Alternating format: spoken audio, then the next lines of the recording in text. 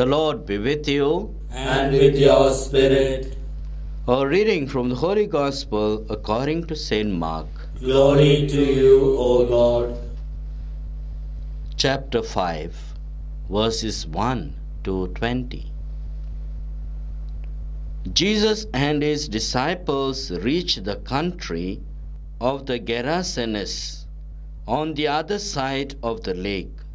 And no sooner had he left the boat than a man with an unclean spirit came out from the tombs towards him. The man lived in the tombs, and no one could secure him any more,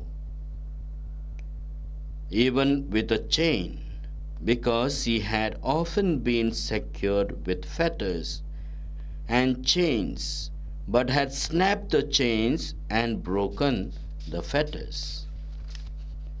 And no one had the strength to control him.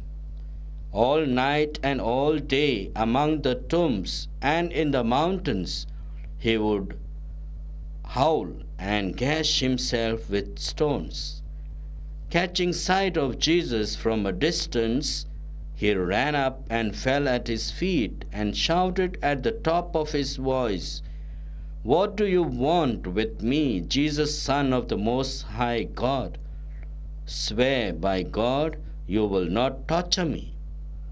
For Jesus had been saying to him, Come out of the man, unclean spirit.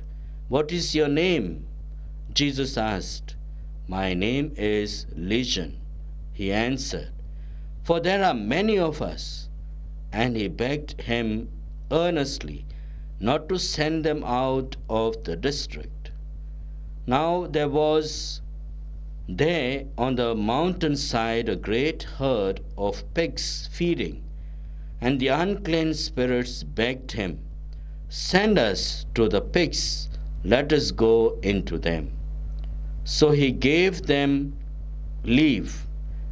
With that, the unclean spirits came out and went into the pigs, and the herd of about two thousand pigs charged down the cliff into the lake and there they were drowned. The swineherds ran off and told their story in the town and in the country round about. And the people came to see what had really happened.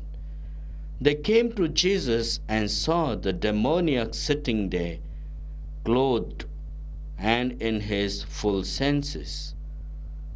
The very man who had had the legion in him before, and they were afraid.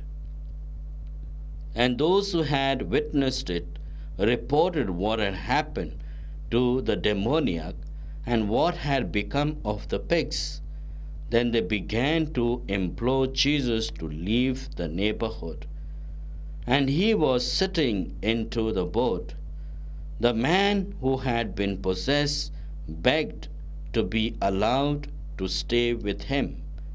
Jesus would not let him, but said to him, Go home to your people and tell them all that the Lord, in his mercy, has done for you. So the man went off and proceeded to spread throughout the Decapolis all that Jesus had done for him. And everyone was amazed. The Gospel of the Lord. Praise to you, Lord Jesus Christ. Dear brothers and sisters, an amazing story, an incident that happened in the life of a man who must have been held by chains and fetters tight, must have been very aggressive and difficult to handle.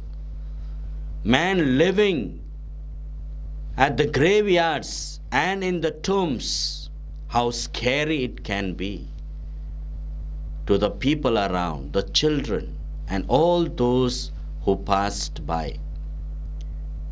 Jesus when he comes across this man, or rather, when this man with the demoniac comes across Jesus, opens his mind wide, and calls out to Jesus, Have you come to torture me or torture us?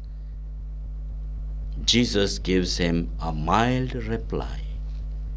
What are you doing here? What is your name? And he says, I am a legion. These are not just biblical stories, these are events and happenings, even that happen today in our lives. There are so many people, even today, who are possessed and hold on to these legions. And we need the spiritual power to heal them. And who can do this healing? Everyone who is baptized can lay hands, call upon the Spirit that is given to you deep within, and you can drive out the devil, the evil spirit. Jesus has given this power to each one of us, the power of this Spirit. In our families, our elders can do it. Our priests, of course, can do it, but all the baptized must execute this ministry. And further, when Jesus encounters this person and he gets to know that there are many, many, many of them, they thought he's going to destroy them. And he says, Don't destroy us. Allow us to dwell in the pigs. And about 2,000 pigs that were around as a herd, Jesus asked them to take leave. They get into the pigs. The pigs run into the water, into the lake, and then they are drowned. The worst part of the story here is that people who want Jesus to leave the neighborhood because they had seen this man very ferocious, aggressive, and this man for them today can be seen as a cool, calm, and a healed person. Probably because their pigs may have been destroyed, probably, or they don't want any good to happen. But a few of them were amazed to see the wonder that Jesus had performed. The man who got healed went round spreading the news that Jesus has healed him. But instead of becoming everything good for Jesus, it was becoming bad for him. It was becoming difficult for him. People, instead of taking this healing good, they were taking it for bad. They began to question Jesus gradually. But, my dear friends, being Christians, we have to do this ministry of healing. It is our work. So, Jesus, by his actions, he tells us that there are legions who dwell in our midst, who disturb our functioning, who disturb the humanness and human nature that needs a prayerful support laying of hands by the faithful, and to eradicate all the evil that remains in the society and in our individuals.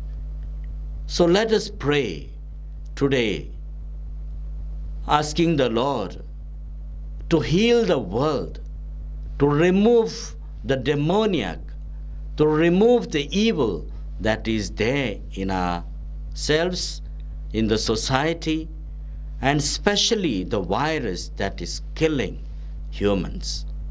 We ask our dear Lord to destroy it totally so that we all may live in peace, joy, happiness, and serving one another. Amen.